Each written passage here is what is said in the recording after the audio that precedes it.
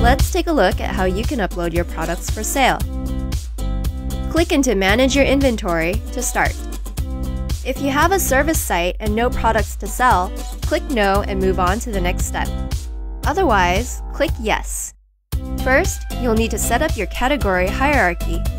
You'll see sample categories matching your initial template choice. To add a category, click Add. Enter the name, page title, SEO URL, and decide whether this category appears in the top navigation. You can also add an optional category image and description. Click Save. Adding a subcategory follows the same process, except you need to assign a parent category in the appropriate section. If you want to edit any of these, just click on the gear. Once you're satisfied with your category list, click Confirm. Now you can start adding products. You'll see sample products matching your initial template choice.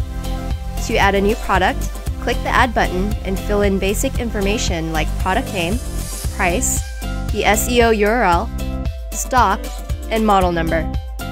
Now, let's add a product image by expanding its section. Click Edit Image. Then upload, and find the product image on your computer. Double-click your image to set it as the main image of this product.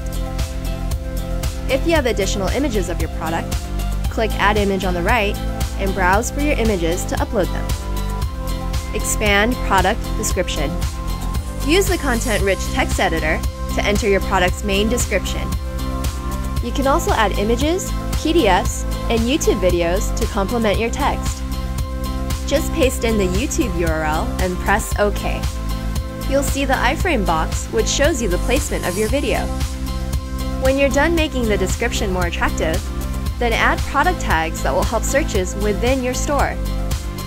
Expand SEO settings, then enter a meta description and a list of keywords. This metadata will be used to further enhance this product's search engine optimization. Expand assigned categories and related products.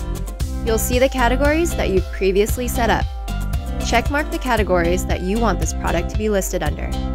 Be sure to assign a category for every product. Expand availability and stock. Set the date when your product will be available, the minimum order amount, whether stock will decrease on buyer purchase, and what your customer sees when this product is not in stock. Expand shipping information. Determine whether or not this product requires shipping. Set your product location. Select your length and weight units. And then enter those values.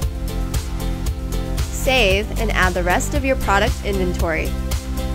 Click Confirm to finish this step.